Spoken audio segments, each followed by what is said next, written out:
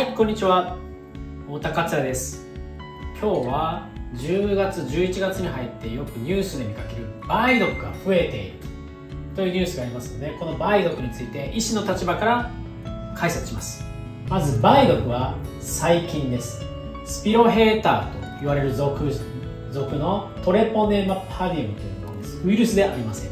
ウイルスではないので10マイクロメーターという風な大きさなんですけども小さく見えますけどもウイルスに比べたらかなり大きな、えー、細菌です。この左の図ですけれども患者さんの数を示してるんですけどね。2000年から20 2022年までの図なんですけども2013年あたりから増加していって今年は1万人を超えると言われています。2000年から比べると約20倍に患者が増えています。また患者さんの分布を見るんですけれども10代から60代の分布していきます。青が男性赤が女性ですけれどもよく見ると男女ともに2 3 0代に患者が多いということが分かります。まず感染経路なんですけれども粘膜や皮膚の小さな傷から感染します。粘膜つまり陰部と口です。約1ヶ月間の潜伏期間。最初感染したとしても1ヶ月間何も症状ないですね。1ヶ月体に潜伏していて今言った陰部と口に粘膜だったらしこり潰瘍皮膚だったら発疹。赤い山桃色溶媒色の。発疹が出ます。梅毒の場合はこの山桃の梅から来てです。ね梅。でこれも治ってしまうんですね。つの間にか消えてしまうで何も治療しないでそのまま治ったからといって普通にしていると3ヶ月後には1期から2期に動いてきます。2期に動いていくと肝臓や腎臓に影響を及ぼします。そして山桃色の赤い発疹も全身へ移っていきます。例えば陰部とか口の関係ない手とかにプツプツプツプツと山桃色の赤い発疹が出てきます。これをバラシンと呼びます。バラシンがわって出てきます。これ第2期です。でさらに何もしないで。これはまずいと言って治療しないで。1年経つと心臓や脳目が見えなくなったりとかします。特に心臓や血管に悪影響を及ぼすといきなりバンとこう破裂したりするような症状とか。脳みそに脳に影響があるともう廃人になっちゃったり目見えなくなるんですね、まあ、そういった後期症状を呈するんですけど最近ここまで来る患者さんはいらっしゃらない。悪くても2期までで治療を始める人が多いんですけどもここまでの人はあんまり最近見ないですね。でなんで見ないかと言いますと治療を始めるからです。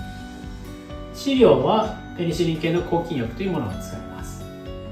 症状が良くなったり消えても医師の指示を守って内服だったらペニシリンという内服薬を1期だったら2週間から4週間。2期だったら4週間から8週間。また消えたかどうか確認するために採血の検査などをします。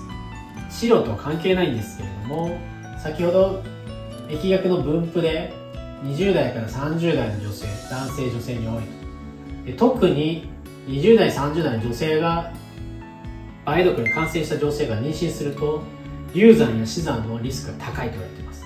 流産死産を免れたとしても先天梅毒といって生まれてきた子供が生まれながらにして梅毒の子供として生まれてくる、まあ、そういった子供さんは目や耳や歯とか骨に異常をきたして出てくるんですね。また生まれながらにしてさっき言った山桃色のような皮疹や知能障害を持って生まれてくることが多いと言われています。これが先天梅毒です。また梅毒は何度も感染します。免疫がありません。ワクチンもありません。無症状だからといって治療をやめないで。また感染しないようにするのも大事ですけども感染したとしてもちゃんと治療をして妊娠しましょうということが言われております。そもそもどうして外科医が梅毒について語るのかと言いますと外科医は手術手術の前の術前検査で採血の検査します。その項目手術を受け受けられた方はその項目を見てもらったら分かるんですけども3つだけなんか違和感のある項目があります。それは感染症検査です。病院によっては違うんですけども大体最低3つの感染症検査してます。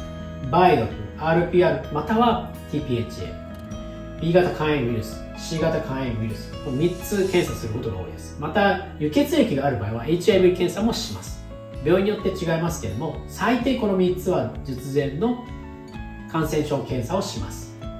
なぜこんなことをするのかというと術前で検査しておいて、まあ、陰性だったらいいんですけども陽性だった患者さんの場合は患者さんから医療従事者針刺し事故ですね特に。針刺し事故などそれから医療器具や手術室に落ちた血液や体液から患者さんから患者さん次の患者さんに移ってしまう。などのリスクがありますのでまずはこれがないことを確認してもしある場合はこういったことが起きた場合に対応策を取らなければいけませんのでぜひとも患者さん全員にこの3種類の術前の感染症検査を医療従事者を守る。また次の患者さんを守るという意味でご協力いただいております。ということで梅毒の検査については外科医は必ずと言っていいほど検査を出してます。話をまとめますと結論梅毒は若い人の間で増加してます。2000年から2022年の比較ですと20倍に増えてます。また梅毒は何度も感染します。免疫がありません。ワクチンもありません。なので梅毒は何度も感染します。もう一つ症状なくても内服薬治療を必ず行ってください。以上太田克也でした。